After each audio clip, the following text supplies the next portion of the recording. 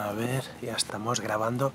Locos, pedazo de mundial de ciclismo que os habéis perdido, que unos apostaban que si por Sagan, que si por Valverde, los que conocían un poco más ya la carrera apostaban por Van der Poel, apostaban por Trentin a medida que ha ido avanzando y que al final se ha acabado llevando el danés Pedersen en uno de los días de ciclismo más infernales, más duros y más espectaculares que he visto últimamente. metros de recta y luego curva a la izquierda y recta final. Mateo Trentin Pedersen, Kyung, ahí son tres, tres medallas, oro, plata y bronce. Está a 200 metros ya su distancia, ¿eh? Ahí arranca Mateo. No quiere esperar más. Mateo Trentin que está cambiando el ritmo. Ojo a Pedersen, ¿eh? que le está apretando ahora por fuera. Vamos a ver qué sorpresa. ¿Cómo, cómo? Va a ser campeón del mundo Pedersen. No me lo puedo creer. No me lo puedo creer. Ese punto de fuerza. Y en sprints le gana 99 Mateo Trentin. De aquí, ¿no? Ese punto de alegría de, de prácticamente ni creerlo, ¿no?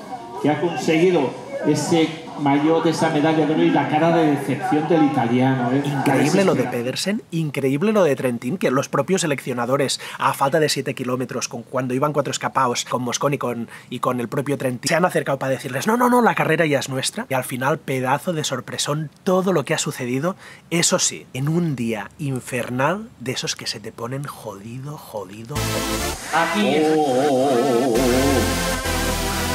oh, a ver si ahí, ahí, ahí, yo recomendaría que se quedara apuntado un motorista para ver si hay algún tipo de fuga, teniendo en cuenta que no hay helicóptero, por lo cual el privilegio de poder ver las tomas aéreas no ha desaparecido por razones evidentes. Nos queda verlo, verlo por detrás.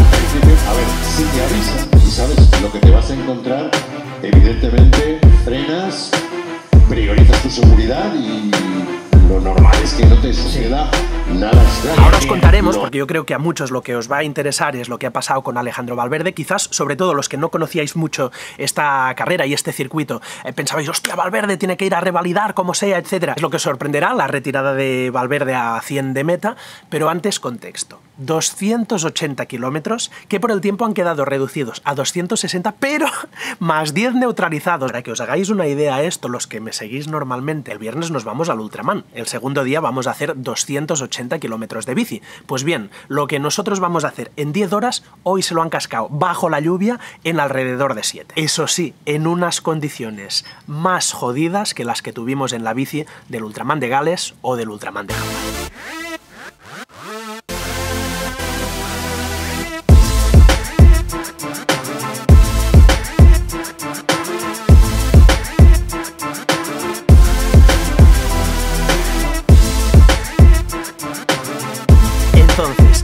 Dentro de este locurón de contextos iban un grupo de favoritos, entre ellos Alejandro Valverde para intentar revalidar el locurón del año pasado. Ahí está, se abre también Boots, se abre Bardet, vamos Alejandro que puedes conseguirlo, vamos Alejandro que va a ganar, va a ganar campeón bravo del mundo. Alejandro, bravo Alejandro, campeón, del, mundo. Alejandro Valverde. Emocionante, emocionante la victoria. ¿Cómo me alegro? Enormemente. ¿Cómo me alegro? Es cierto que por el circuito y otras cosas que ahora comentaremos lo tenía muy, muy, muy difícil ya antes de empezar, pero sobre todo yo creo que mucha gente apostaba por Van der Poel, el holandés capaz de ganar a Schurter en mountain bike. Van der Poel has ridden away from the Olympic champion here in Mesta. Matthew Van der Poel takes his first ever World Cup win. Capaz de liarla en ciclocross, que es de donde él viene. Matthew Van der Poel, the youngest world champion for the elite men in history to my knowledge. Van der Poel has done it.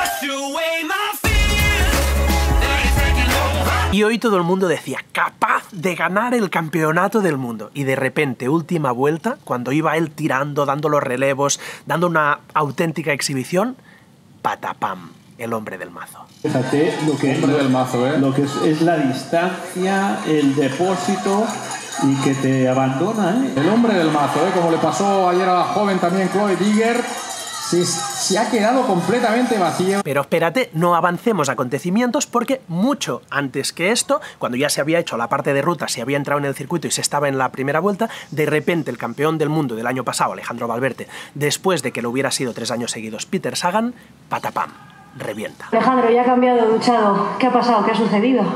No, estaba siendo un mundial muy exigente, ya es- estaba prácticamente helado y, bueno, ya le he dicho a los compañeros que, no podía, que no podía seguir ahí. Y, bueno, Es un mundial de locos y, y bueno, lo he intentado, pero no, no, no ha podido ser. A ver si algún compañero puede hacer algo que esté, pueda hacerlo bien. Una lástima despedirse así, ¿verdad? Del arco iris. Sí, hombre, está claro que es una lástima, pero bueno, ya se veía que iba a ser un mundial muy, muy exigente por el clima. Entonces, si alguien ve, coño, que se ha retirado Valverde a 100 de meta, ¿qué ha pasado? Vaya derrota, vaya fracaso. Punto número uno. Ojo, este señor está a punto de cumplir 40 años, es decir, hostia, ya es un milagro y es espectacular que un tío a su edad el año pasado fuera campeón del mundo. Punto uno.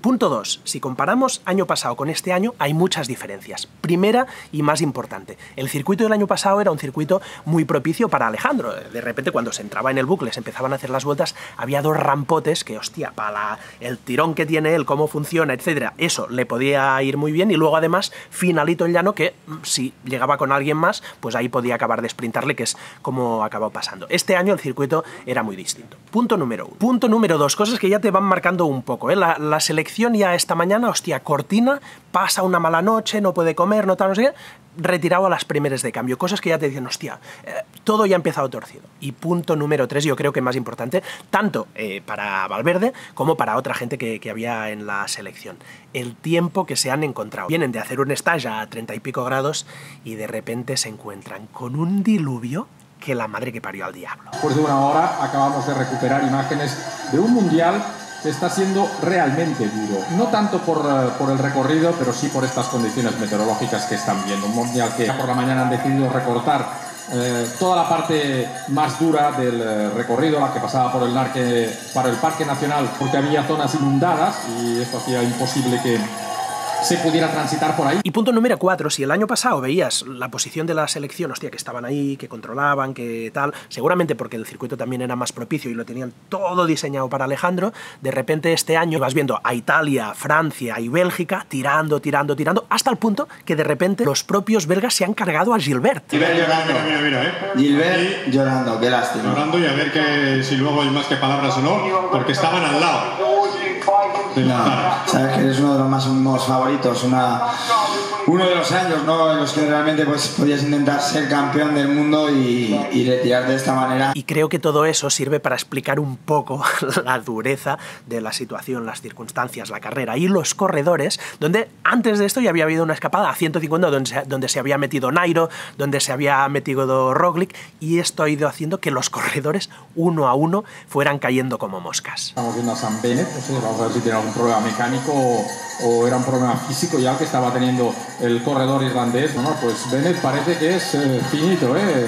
Físicamente no puede más tampoco, uno de los grandes protagonistas de la Vuelta Ciclista a España y un corredor al que se tenía en cuenta también para hoy. Yo la verdad es que me he tragado la carrera entera, veníamos, ahora faltan 5 días para el Ultraman, veníamos de hacer 2 horas 45 de bici, 45 minutos de correr y solo llegar, corre, corre, corre, dale a Eurosport a ver cómo va la cosa. Y la verdad es que ha sido una carrera espectacular, espectacular. Sobre todo cuando de repente a creo que eran 30 y pico, se va al grupito donde está Van der Poel, donde está Trentin y empieza una exhibición de Van der Poel que es wala wala qué sobrado que va este tío. Y como os decía, cuando todo parecía que se iría para el holandés que parece ser que es el futuro absoluto del ciclismo, tanto de mountain bike como de carretera, como de ciclocross, hostia, como si alguien le pegara un tiro y después de haber estado dando relevos como un loco, ¡pam!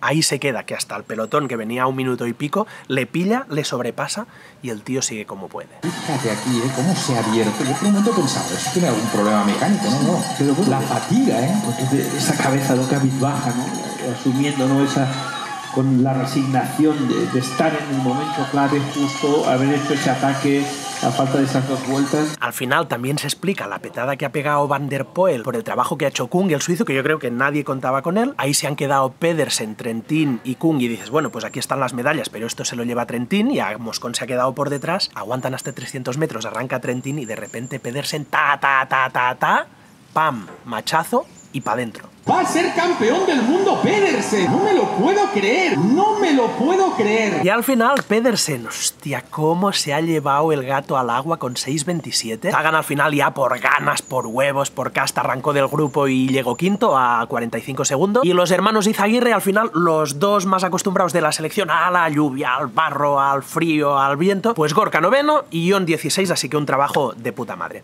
Así que nada, familia, ya nos quedan 5 días para el Ultraman, ahí sí que nos vamos a comer Día 1, 10 kilómetros nadando y 125 de mountain bike con 2000 de desnivel. Día 2, 280 de bici con 4000 de desnivel. Y día 3, 84 corriendo de trail con 2000. Así que ya podéis ir deseándome suerte porque, como decimos normalmente, que Dios reparta suerte porque como reparta justicia, estamos jodidos. ¡Vamos para allá!